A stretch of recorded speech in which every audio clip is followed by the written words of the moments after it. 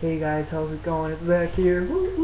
Um, so today we have quite a bit going on. Um, Sam and me are gonna go out to eat, but don't tell her that I'm bringing her to Applebee's because she doesn't know it yet. And I'm gonna bring her a rose, a little bit of a romance thing.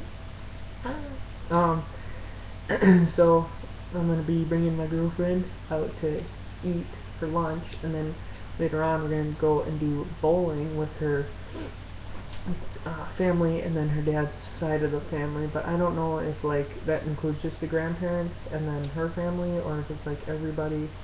I don't know, and I don't know if we're buying or what's going on. But yeah, so that's what's going on today. Um, other than that, not really a whole lot has happened.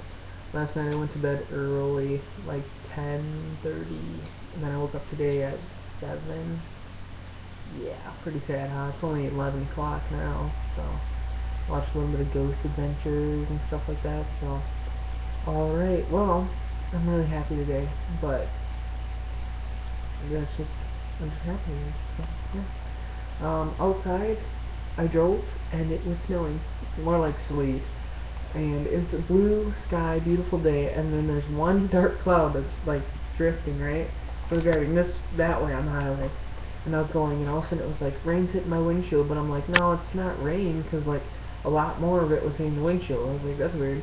And I was driving the other way, and I was driving the other way, and then I noticed it's like, oh, it's the rain again from the one cloud.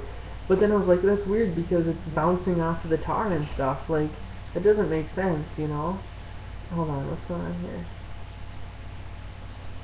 Okay. Um, hold on a second when you're ready. She's at work, and she's like, I don't know when I'll be done. I said, just tell me when you're ready. Um, so, yeah. Hello everybody, my name is Zach Jensen. I got something off. Okay. I think I spit a little bit. I hope you guys can see that. It was like, um, yeah. So, you guys want to see how beautiful the day it is out there? Let me see. I'll just move this way.